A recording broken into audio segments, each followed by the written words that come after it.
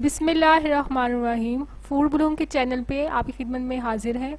आज मैं बना रही हूँ होल वीट से पीता ब्रेड और इसकी फिलिंग के लिए हमें जिन चीज़ों की ज़रूरत है, पीता ब्रेड की फिलिंग के लिए।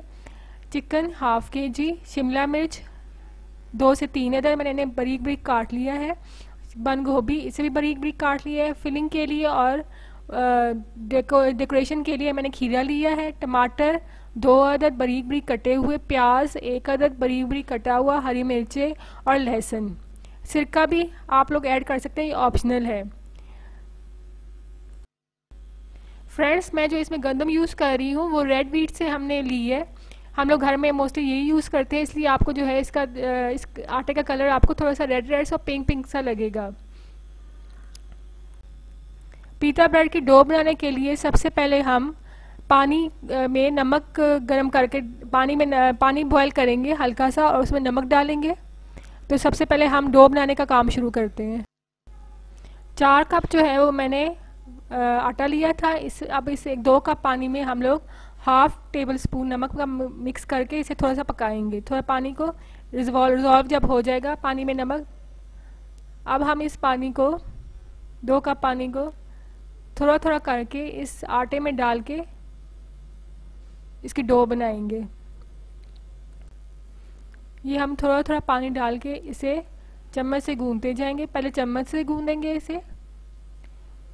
इस तरह ही आप लोग चम्मच से इसे मिक्स करते रहे। आप इस वीट से पीता ब्रेड बनाएँगे तो आपको बहुत अच्छा लगेगा। अब हम इसमें two tablespoon olive oil का डा मिक्स कर लेंगे और इसे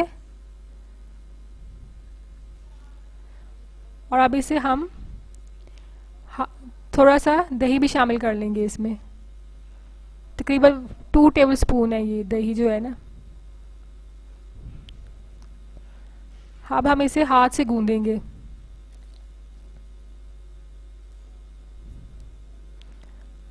आपने मोस्टली जो है पीता ब्रेड जो है मैदे से खाया होगा। आप लोग ये वीट ब्रेड से वीट फ्लोर से बना के देखें, आपको बहुत अच्छा लगेगा। अब हम इसे हाथ से ऐसे गूंदते रहेंगे पाँच से दस मिनट हम ऐसे, इसे हाथ से ऐसे गूंदेंगे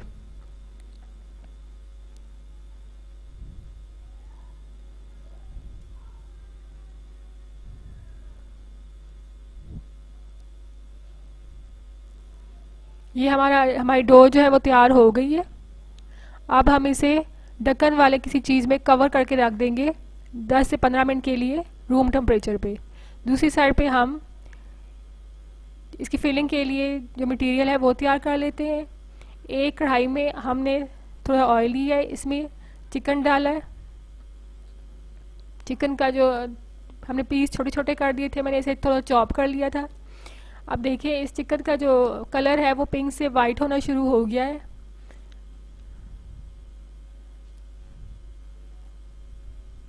ये तकरीबन सारा वाइट हो गया है इस चिकन का कलर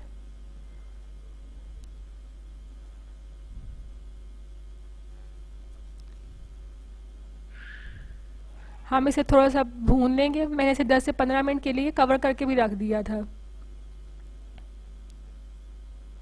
ये चिकन जो है अपने पानी में गलेगा। आप इसमें ज़्यादा पा, जायद पानी ना डालें।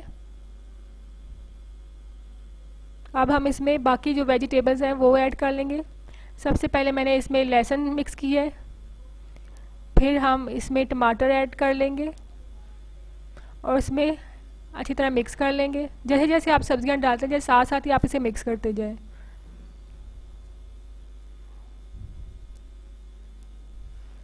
अब इसमें प्याज भी शामिल कर लेंगे, बरीक बरीक कटा हुआ।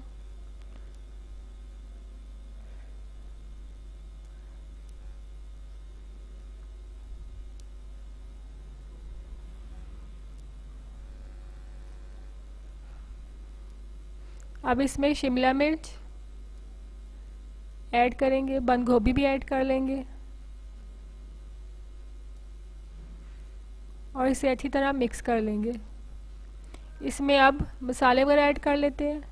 मैंने इसमें कुटी हुई लाल मिर्च वन टी टीस्पून, नमक वन टीस्पून और काली मिर्च वन टीस्पून ली है। इसमें हरी मिर्चें भी ऐड कर लेंगे एंड पे। और इसे अच्छी तरह मिक्स कर लेंगे। हम इस सब्जियों को ढक के नहीं रखेंगे क्योंकि सब्ज़ियाँ अपनी पानी जो है जब छोड़ती हैं तो वो फिर फ्रेश नहीं लगती। उनका टेस्ट भी थोड़ा चेंज हो जाता है। अब ये दूसरी तरफ़ जो है, हमने जो आट पीता ब्रेड का जो डो थी, वो हमने रूम टेम्परेचर पे इसको एक ढक्कन वाले का बाउल में रख दिया था। ये इस फॉर्म में आ गया है। हमने इसमें दही ऐड किया था तो यीस्ट वगैरह यूज़ नहीं की थी। अब थोड़ा सा सूखा आटा हमने इसमें शेल पर डाल के, इसको इस में ऐसे लंबाई की शक्ल में से करके इसके पार्ट्स कर लेने हैं और इसके ऐसे छोटे छोटे पेड़े बना लेने हैं। ये हाफ़ आटा जो मैंने उस तरफ़ रख लिया था और ये बाकी इस तरफ़ रख लिया था। अब पेड़ों को भी मैंने हल्का सा वो ढक के रख लिया था दस मिनट के लिए। अब हम इसे, इसकी ब्रेड्स बना लेंगे।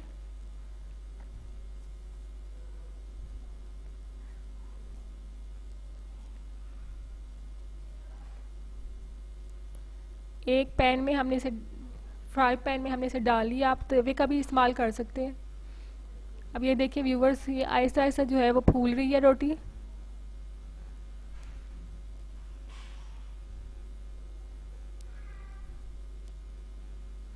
अब इसमें हम चिकन की फिलिंग करके इसके रोल्स बना लेंगे।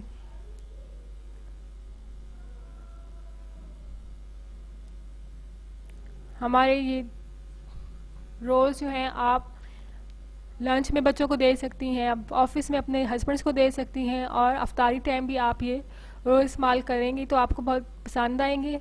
उम्मीद है आपको मेरी ये रेसिपी बहुत अच्छी लगेगी।